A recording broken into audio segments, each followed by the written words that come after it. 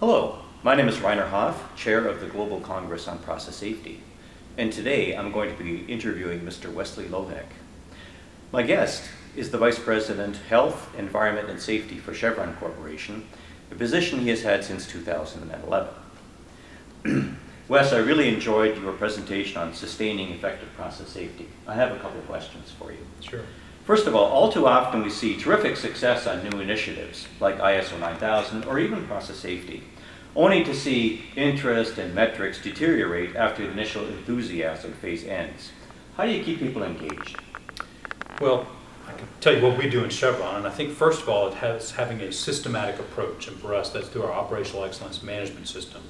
But one key component of that management system is what we call our management system process, sort of our continuous improvement cycle. And as part of that, every year we do a gap assessment of what are our largest gaps. We plan to close those gaps and we come back and review at the end of that year.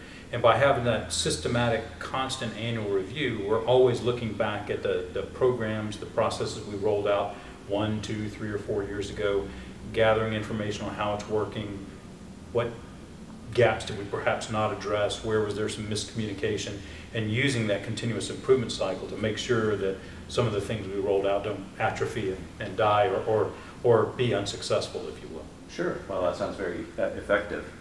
Of course, the troops have a self-interest in process safety, so one could argue that they are predisposed to effective process safety uh, programs because they benefit from that. However, sustaining process safety programs requires sustaining resources and budgets.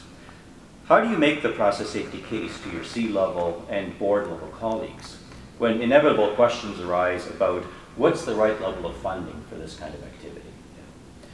So a couple things, and I'm not sure I completely agree with the first part of the that. Premise. The, premise. And, and, the troops, that because I think the risk you run is, is people at an operating level becoming too familiar with their plan and losing that sense of vulnerability. So our, our learning has been you have to sell the focus on process safety both uh, at the field level, you know, out on the deck, if you will, and at the, the C-level. So it really requires uh, building commitment, building an appreciation, building the business case for both, uh, and really throughout the whole organization.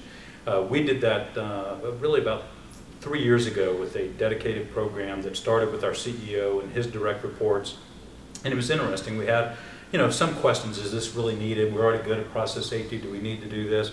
But it didn't take long going through these uh, kind of uh, cascaded engagement sessions to really have everyone on board saying, yes, there is more we need to do on process safety. This is the biggest risk to the corporation, that while personal safety is important, the real risk to the corporation uh, big incidents that today can be a billion dollar or more incident, uh, that gets attention quite quickly.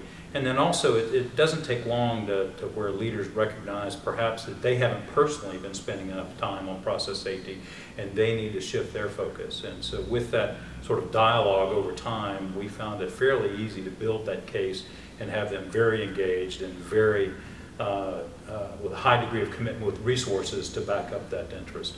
Right. Yeah. Well, that leads perfectly actually into my next question. And this is really about how you see yourself. Do you see yourself as the champion for process safety at Chevron? Or do you see yourself as a facilitator to develop champions in each division or each plant, etc.? Yeah, it's an interesting question. I, I, would have to say no, that I don't really see myself as, you know, having the, the flag as the person out in front on process safety because it is such a strong partnership between health, environment, safety, between engineering, between operations, and including maintenance within operations. So within Chevron, at least, it's kind of a always sort of a four-person activity, and it's something, to be honest with you, we still struggle with and haven't landed on the exact right model of, uh, you know, organizationally, you know, should there be a process safety organization? Our manufacturing organization has somewhat of that. Uh, but uh, it, it's really a shared accountability, I would say, at this point. I wouldn't necessarily say it's the perfect model, and I would advocate that to others, but that's the way we're managing it right now. Right. But it's an interesting question, I think, still to be addressed over time. Well, we have to start somewhere yeah, right, and absolutely. continue to improve. Uh, at this conference, we have over 1,200 people who have made process safety a key component of their careers. What advice would you have for young professionals about opportunities in the process safety field? Well, I think it's a it's a huge opportunity, and to me, the demand is going to go nowhere but up. Mhm. the expectations from our stakeholders are so clear that you cannot have process safety incidents. So where in the past, you know, 10, 20, 30 years ago, you could have a process safety incident, go through and repair and get back online and uh, things would die down in the community and there might not be much uh, ongoing impact to you. In today's world, where your license to operate is a very real thing, whether there's a single piece of paper that holds that license, uh, the, the cost of incidents, the ability to have business continuity are so important uh, that, that we have to get smarter and more capable on process safety, and we need the engineers, the operations people with that expertise that, that want to make a career out of it. Uh, that I think absolutely is a, a bright career, and I think that our really need our universities to do more uh, to have those process safety specialties than they do now. There's several that are doing quite well and advancing those curriculum, but uh, yes, certainly I would encourage uh, anyone in university now to, there's, and because the, the industry is so broad where process safety is applicable, whether that's petrochemicals or even biomedical activities or, um, you know, the manufacturing, refining, or upstream, it's, you know, the process safety is applied everywhere, so, and- and the expectations will be greater and greater. Great. Well, Wes, thank you for meeting with us today, and thank you for your contributions to process safety. My pleasure.